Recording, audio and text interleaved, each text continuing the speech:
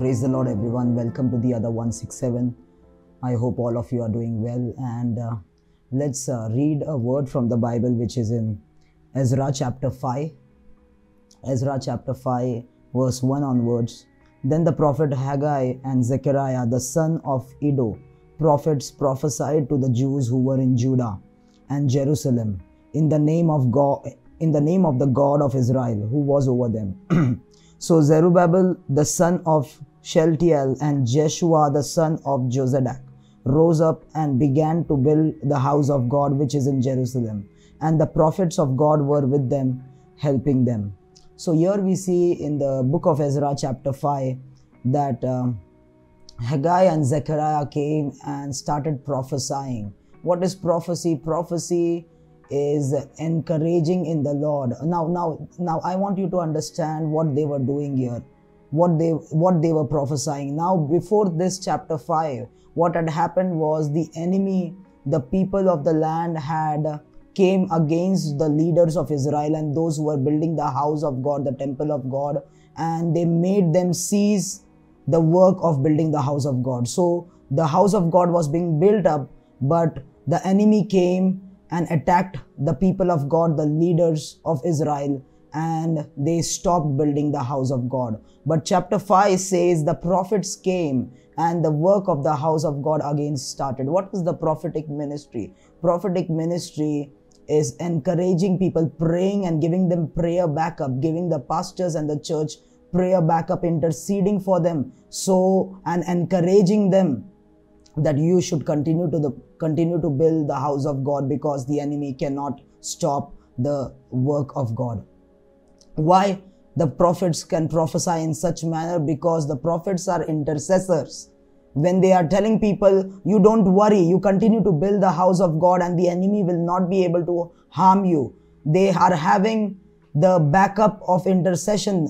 They are prophesying in such a way because they are interceding for God's people and interceding and encouraging the leaders to continue to build the house of God, to continue to build the church. Okay. Now I want to take I want you to take you to another verse in Genesis chapter 26. So here the benefit for the leaders for Zerubbabel and Jeshua, the leaders of the house of Israel who were building the house, the, the benefit for them that they received the benefit of the prophetic ministry. Prophets came and encouraged them and gave them the prayer backup. Now, when we read Genesis chapter 26, verse 19 onwards, also Isaac's servant dug in the well and found a well of running water there. But the herdsmen of Gerar quarreled with Isaac's herdsmen, saying, The water is ours. so he called the name of the, of the well Esek, because they quarreled with him. Then they dug another well and they quarreled over the one also. So he called its name Sitnah. And he moved from there and dug another well, and they did not quarrel over it. And so he called its name Rehoboth, because he said, For now the Lord has made room for us, and we shall be fruitful in the land. So here again, Isaac is digging a well, and when he dug a well and the water came out, the enemy came and took over. But Isaac did not stop. He continued to dig the well. He dug another well and again the enemy came and took over the well and all the hard work that Isaac had done to dig the well. It was taken over by the enemy. The waters were taken over by the enemy. But the Bible says he again dug a well and this time the enemy did not come. Now this signifies building the house of God in a specific territory. When you are doing God's ministry and building his church, the territorial powers, demonic powers will come to stop you. This is what happened with the with Zerubbabel and Jeshua in the book of Ezra. The enemy came and stopped them, but they the prophets came and again the work started. But here in this case, Isaac was digging the well and the enemy came and stopped him. But Isaac did not sit crying, Oh, they have taken over my work, they are hating me, they are doing this. But he continued the, to dig the well. Now, where was the prophetic ministry there? Where were the prophets here? Isaac became a prophet to himself. Hallelujah.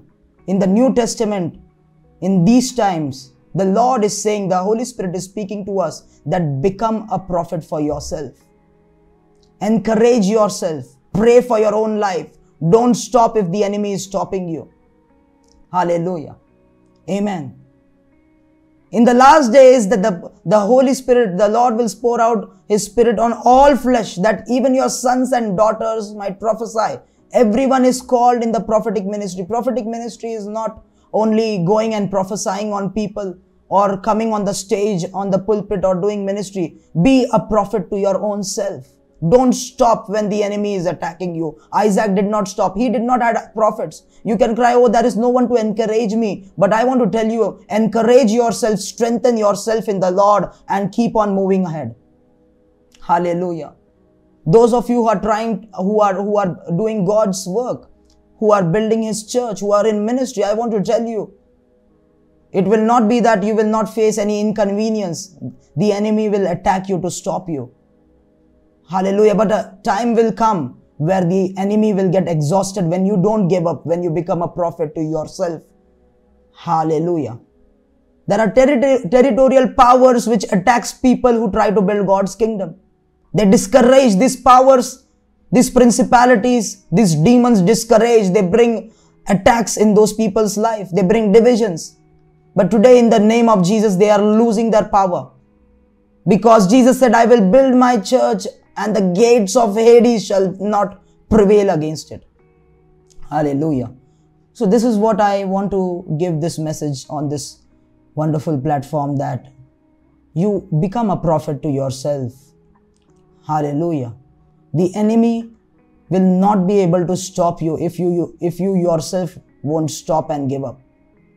There, there will come a time where the enemy who was attacking you for the first time, he attacked you the second time, the third time he will be exhausted because you are continuing to resist him and he shall flee away.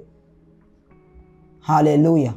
Submit to God, resist the devil and he will flee away. Resistance is not one time process. It's a continuous process. Dear saints of God, I want to encourage you with this word. God bless you.